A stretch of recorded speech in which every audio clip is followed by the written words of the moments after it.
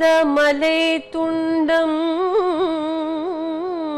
கிடந்தன போல் துணி பலவா அசுரர் குழாம் துணித்து உகந்த தடம் புனல் சடை முடியில் தனி ஒரு கூறு அமர்ந்துரையும் உடங்குடையான். கவராத உயிரினால் குறைவு இளமே.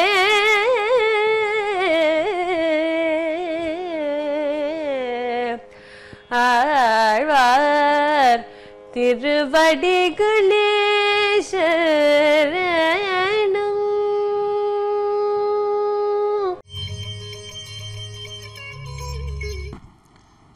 श्रीशैलाभिजनाम्बुराशिशशिनं श्रीकृष्णतातात्मजं श्रीशैलान्वयदेवनाथसुधियः प्राप्तागमान्तद्वयं पादाब्जे नरसिंहदातय गुरोः न्यस्तात्मरक्षाभरम् విద్వద్బృందచకోరచందిరమహం రమానుజార్యం శ్రయే పరమ భాగవతోత్తములారా నేడు నమ్మాళ్వార్లు కీర్తించినటువంటి తిరువాయుమడియందు నాలుగవ శతకం ఎనిమిదవ దశకం పదవ పాశురం ఉడంబినాయి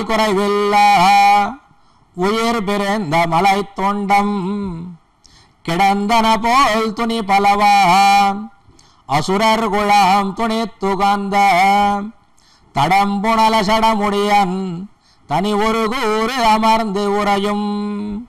உடம்புடையான் கவராத உயிரினால் குறைவிலமே ఉయిరినాల్ కురైవెలమే ఉయిర్ అంటే ఆత్మ జీవాత్మ ఉండి ఏమి లాభం అంటే ఇంతకుముందు పాసురములో శరీరము శీర్యతే ఇది శరీరం ఈ పాసురంలో శరీరము కూడా పర్వాలేదు జీవాత్మ అని ఒకటి ఉంది పరమాత్మ జీవాత్మ ఆ జగత్తును మూడు ఉన్నప్పుడు జగత్తు అది వచ్చి దానికి చైతన్యం లేదు మనస్సు లేదు. ఈ జీవాత్మ దేని కొరకు ఉంది? ఆ పరమాత్మను సేవించడం కొరకే కదా. ఆ పరమాత్మ శేషి అయితే శేషభూతంగా ఉంది కదా. జీవాత్మవుగా కూడా ఉండి ఏమి లాభం అని చివరగా ఈ పదోపాసనలో చెప్తున్నా. కారణం ఏమి? భగవంతుణ్ణి ఏ విధంగానైనా ఆదరింప చేసుకోవాలనే ఒక ఆర్తి ఆ నమ్మాళ్ళవార్లకు ఉంది.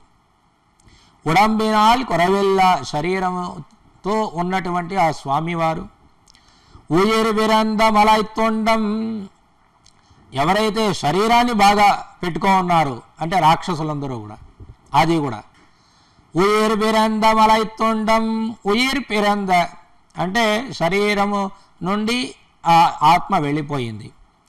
మలైతుండం కొండ ముక్కలు అంటే ఒక కొండ నుండి మనం కూడా చూస్తూ ఉంటాం. కొండ నుండి రాళ్ళు బండలు ఏ విధంగా కింద పడిపోతాయో తమ స్వాధీనాన్ని తప్పి ఆ విధంగా పడి ఉన్నటువంటి కిడందన బోల్తుని బలవా అందరూ ఇలాగా పడిపోయారు. శత్రువులందరూ కూడా అసురరు కులాం ఉగంద ఆ విధంగా వాళ్ళందరూ శత్రువులందరూ పడిపోయిన తర్వాత ఉగంద సంతసించినటువంటి ఆ భగవంతుడు ఎందుకు? అంటే భాగవతులు రక్షించడంలో ప్రథమ కర్తవ్యంగా చేసినందుకు. తడంబుణల సడముడియన్ ఆ విజనుడిగాంటి ఆ శిఖను ఆ కిరీటాన్ని ధరించినటువంటి స్వామి తని ఊరుగు ఊరు అమరంది ఉరయం.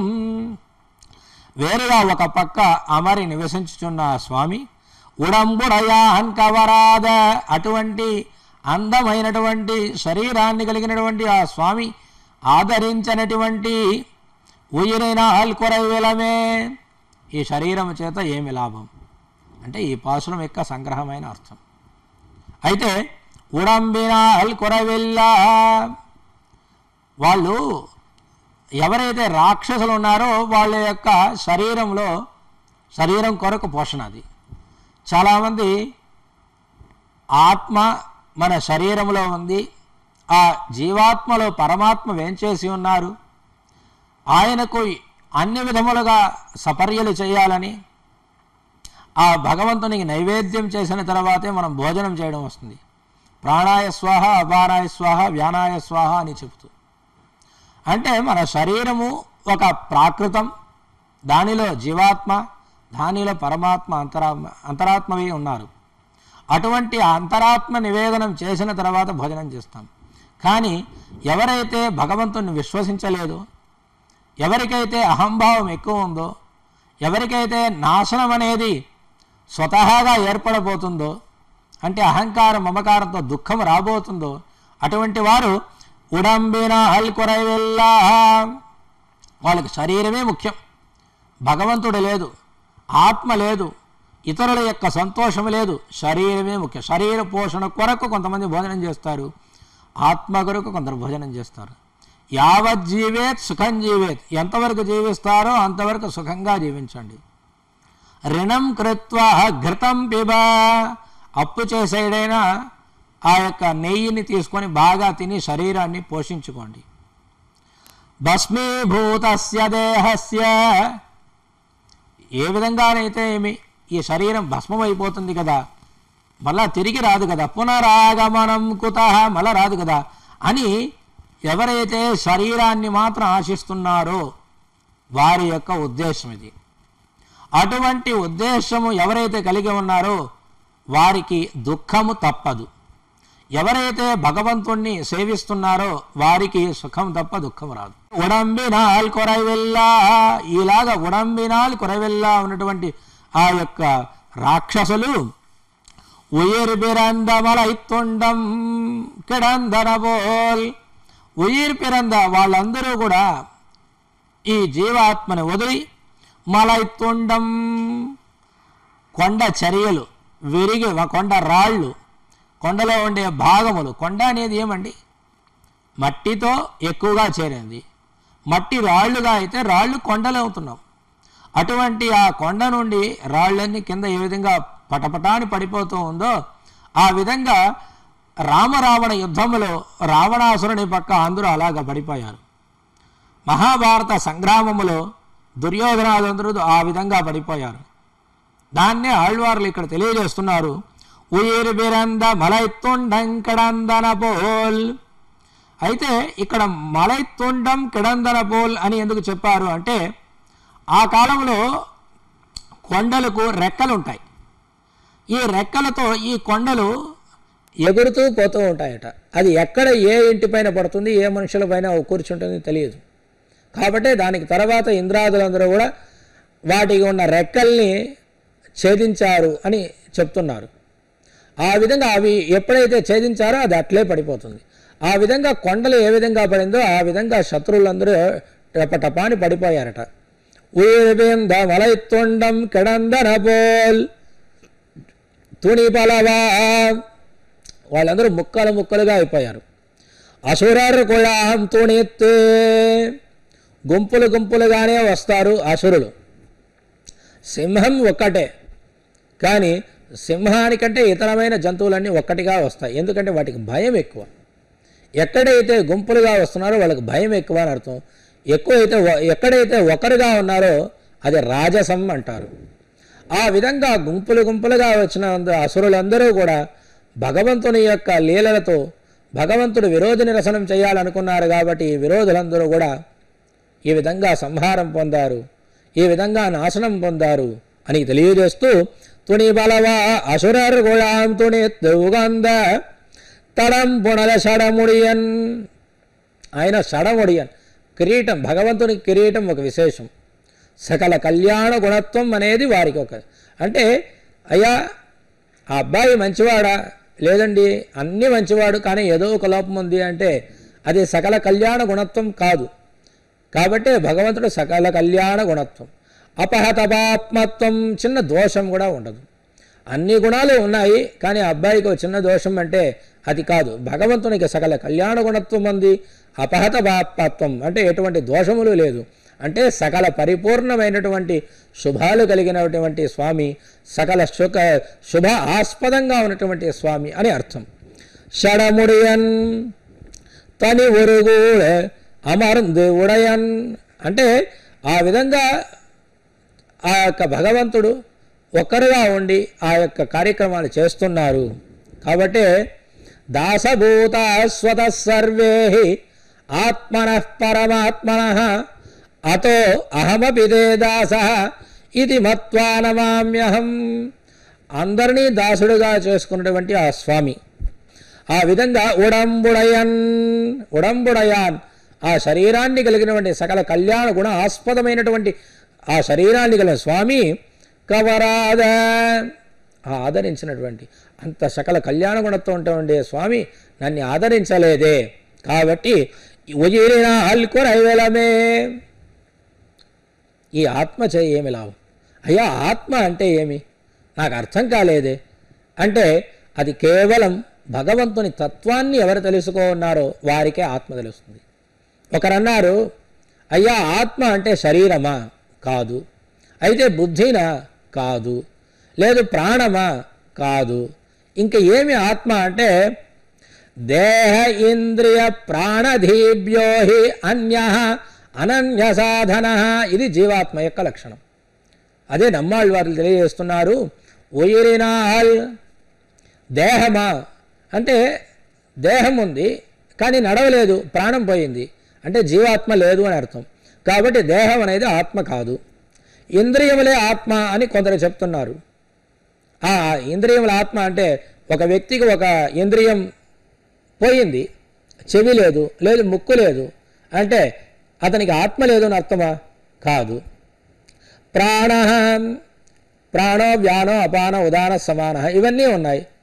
అలా వాయువు మాత్రం ఆత్మన అంటే అది కూడా కాదు. బుద్ధి ఆత్మన అంటే బుద్ధి లేనివాడు కూడా ఉన్నాడు. ఆత్మ లేదని చెప్పగలుగుతామా?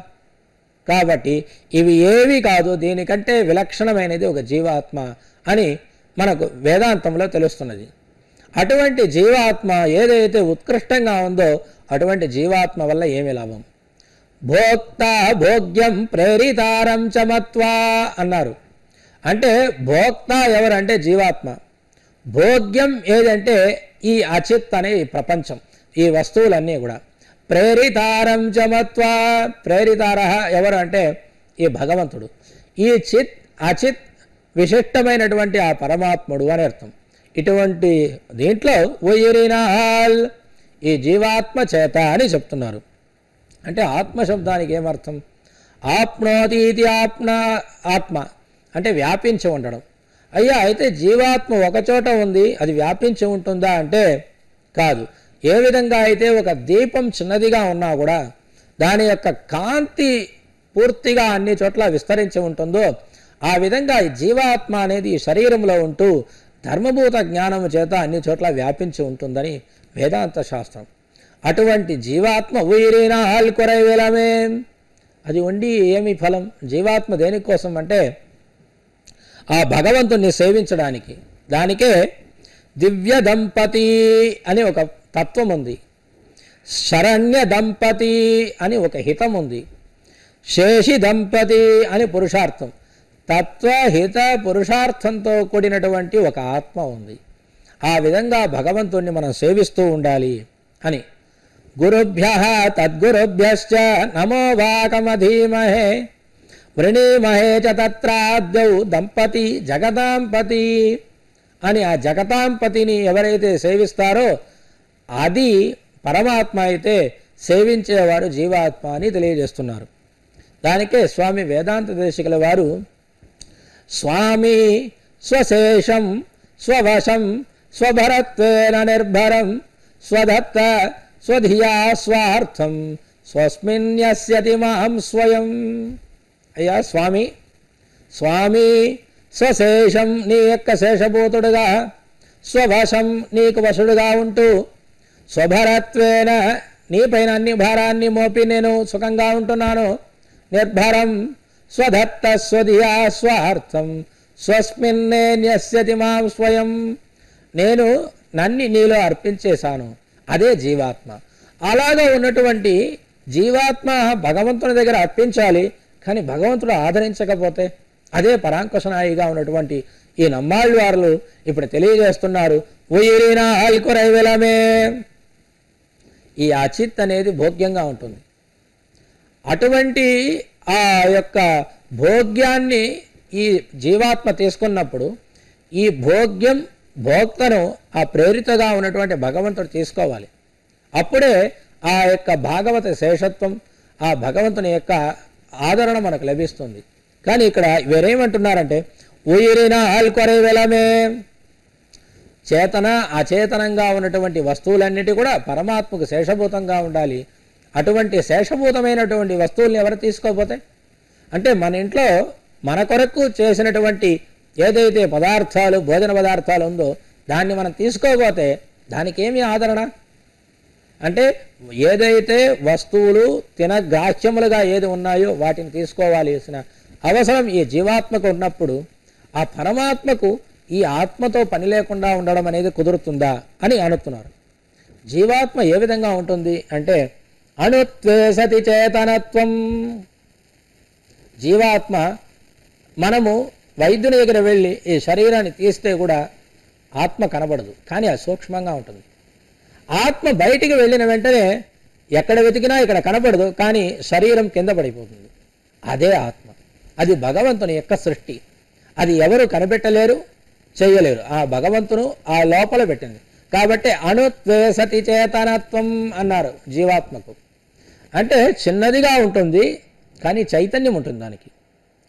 ఏదైతే అయితే చిన్నదిగా ఉంటుంది మాత్రం ఆత్మ అని చెప్తామా అంటే ఈ జగత్తులో చిన్న చిన్నవిగా చాలా ఉన్నాయి. కాబట్టి అది దీనికి జీవాత్మ అని చెప్పకూడదు. చేతనత్వం అన్నారు. అంటే చైతన్యం కలిగినది. చైతన్యం కలిగినది మాత్రము అంటే భగవంతుడు కూడా చైతన్యం కలిగి ఉన్నాడు. ఆయనకు జీవాత్మ అని పేరు వస్తుంది. కానీ ఆయన పరమాత్మ అనమాట అటువంటి పరమాత్మకు శేషభూతంగా ఎవరున్నారో ఆయనే జీవాత్మ. అణుత్వే సతి చేతనత్వం అనేది జీవాత్మ లక్షణమైతే ఆ వ్యాప్యత్వే సతి చేతనత్వం అనేది ఆ భగవంతునికి లక్షణంగా చెప్తారు. అంటే బృహత్వే సతి చేతనత్వం అంటే అన్ని చోట్ల వ్యాపించి ఉన్నారు భగవంతుడు కాబట్టి ఆయనకు పరమాత్మ అని పేరు. కొన్ని చోట్ల మాత్రం అంటే భిన్న భిన్నంగా ఉన్న శరీరంలో వివిధంగా జీవాత్మ అందరి శరీరంలో ఉంది. అటువంటి దానికే చిన్న ఒక చోట్ల ఉండేదే జీవాత్మ అని. ఉయిరిన అల్కొరై అది తత్వత్రయం అనమాట అంటే తత్వ చి- చిత్ అచిత్ విశిష్టంగా ఉన్నటువంటి ఆ ఈశ్వరునిలోనే ఉండాలి ఈశ్వరునికి అంగంగా ఉండాలి ఈ జీవాత్మ అటువంటి జీవాత్మను ఆదరించినటువంటి ఉయిరిన అల్కొరై వెలమే ఆదరించినటువంటి ఆ స్వామి ఆ, జీవాత్మ వలన కూడా ఫలమేమి కాబట్టి ఈ ఆత్మను కూడా త్యజించాలా అని ఆవేదనను తెలియజేస్తున్నారు నమ్మాళ్వార్లు ఆళ్వార్ ఎంబెరుమానార్ దేశికం తిరువడిగిలే శరణం உடம்பினால் குறைவையில் உயிர் பிரிந்த மலை துண்டம்